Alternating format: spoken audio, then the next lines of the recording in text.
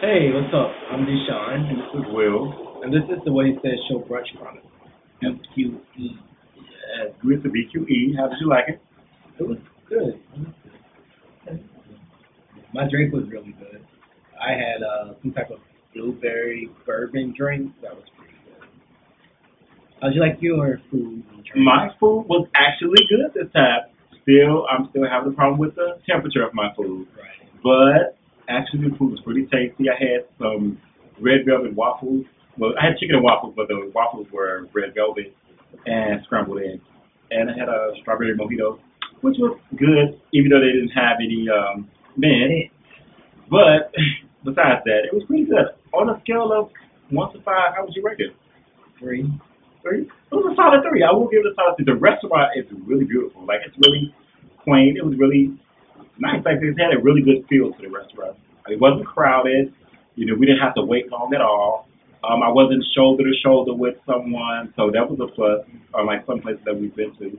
But BQE Restaurant and Lounge was really, really good. Like the server was a little, um, it was a little bit slow, but she was busy though. She had a really big. she party. was busy. She could just have a big party besides us. So, but besides that, it was that wasn't her fault. But all in all, I recommend BQE.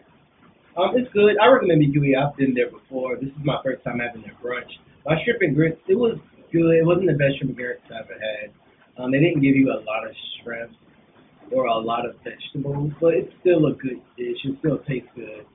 Um, the hash browns weren't all that good. Uh, but I've been there for dinner before, and I think their dinner is a lot better than their brunch. I will say that. Their dinner is really good. So, would you recommend someone to go to that brunch? Yeah, I recommend it. I recommend. So BQE. Because it definitely tastes good.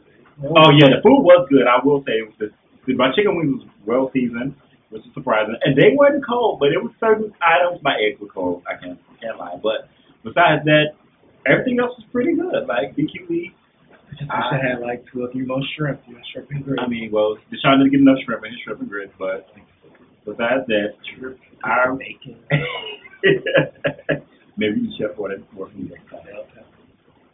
But all in all, BQE, you get a two thumbs up from me. And um, I recommend it. I will tell anybody that's, that's there in town. It's in the Auburn neighborhood. Yeah, it's off the it's Auburn. Yes, It's right off off Auburn Auburn. Edgewood. I, I think it's off of Edgewood. It's off Yeah, of Edgewood. Edgewood. Yeah, it's off of Edgewood. So I do recommend BQE. So anybody that come in town and want to check BQE out, it's a good place to go to brunch. They also have bottomless mimosas, Bellinis, and uh, sangria for eighteen dollars. So if you do want to do that, they do have that option too. Yeah, if you want to drink all day. if you want to drink for a period of time, Yeah. check them out. y'all. So BQE, there it is. So what y'all do to rate, comment, subscribe to the What He Said show. And this is our brunch college, y'all. Hope y'all enjoy. And if any of these restaurants or anybody want to sponsor us, we do a live broadcast every Tuesday on bldradio.com. Hit us up. We'll promote you on YouTube, Instagram, Facebook, Twitter, as well as on the live broadcast and website too. So stay tuned. Hit us up. Yeah.